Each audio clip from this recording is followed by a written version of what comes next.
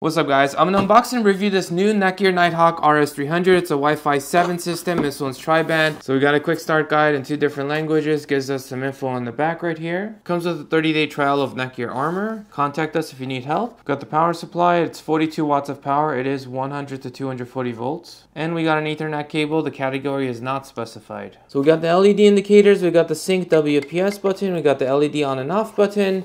We got a little QR code that you could scan to connect to this that I'm hiding. We got some vents up on top.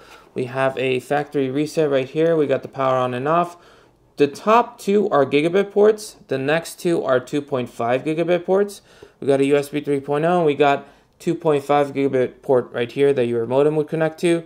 We got the power port and this can be wall mounted if you get the correct accessory from it. So I set up the Nighthawk as my main router and in order to get all my devices to connect to it, I used my same SSID, which is your Wi-Fi name and password, and they're both case sensitive.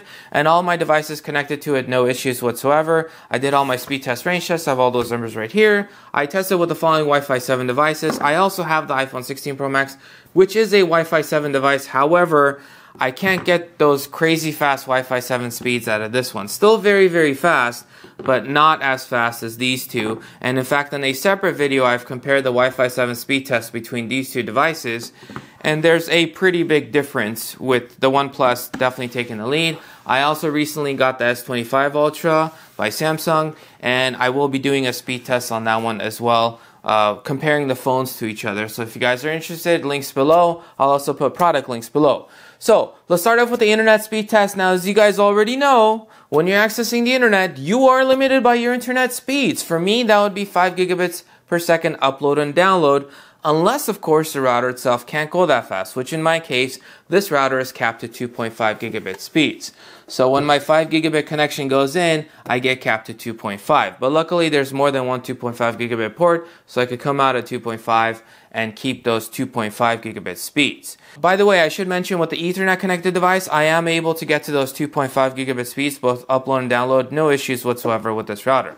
With the Wi-Fi devices, that's typically a different story. They usually can't go as fast. So in this case, we got 2.1 down and almost, almost 2.1 up, which is very, very fast on an internet speed test, which can vary at times. Now, because of that, I like to do a local speed test where I make my computer into the server and I go from Wi-Fi device to router to computer. And what this does is it isolates the router. So I'm no longer relying my ISP, which is the internet, my internet service provider, nor the public speed test server, which can be busy at times as well. So looking at the Wi-Fi speeds, I mean, we are literally like a hair away from 2.5 gigabits on the download, practically there. And on the upload, not quite as close, but still absurdly, absurdly close. I mean, we're literally just capping out on a Wi-Fi 7 device, which is phenomenal. Next, we get into range tests. Now, range will vary drastically by location. Literally, if you have more obstructions,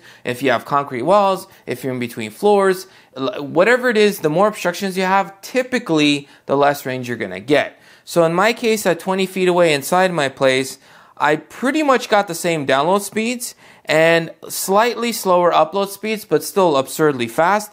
At 50 feet outside, I got absurdly fast download speeds. Obviously a big drop in the upload, but still getting very, very fast speeds overall. And then at 100 feet across the street, this is when obviously the speeds are both dropping both in the download and upload section, but still very, very usable speeds. Now for setup and configuration, use the Nighthawk app, which is very simplified app, both on the iOS, it's available, I should say, both on iOS and on Android. And the, the goal is to be really clean and simple. So there's not a lot of options there. It's basically like what devices are connected.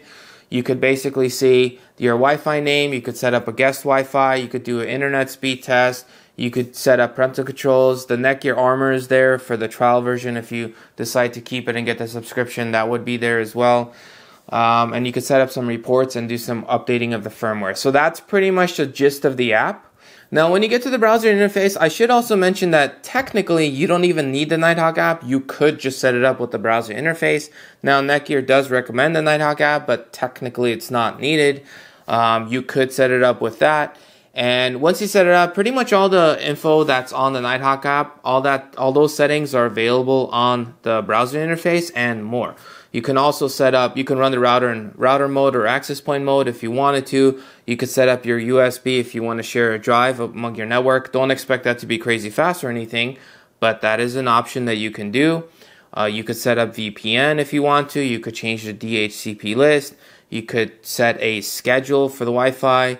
You could store a configuration and reload it. You can update the firmware. There's basically a lot more things in addition to the Nighthawk app that you can do. Granted, you can update the firmware in the Nighthawk app as well. But yeah, if you want to tinker with it, Night the browser interface is definitely the way to go. So is it worth getting the Nighthawk RS300? Well, I would say it depends on your specific situation. So if you have internet speeds of up to 2.5 gigabits and you're planning on placing this kind of centrally as a standalone router, this is an excellent choice. It got really good speeds. In fact, that was the most impressive part that the speeds overall were really good and the range was really good. So overall, from a performance aspect, that's kind of the best thing about this router. You also could tinker with some options if you go to the browser interface and stuff, but really that was the main thing that I liked. I also like the fact that you have three of those 2.5 gigabit ports, which is another plus right there.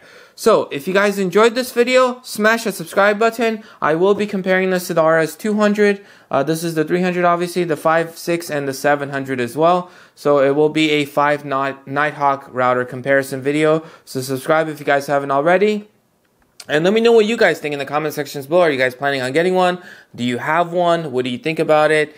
And uh, yeah, thank you guys for watching, and I'll catch you guys in the next one.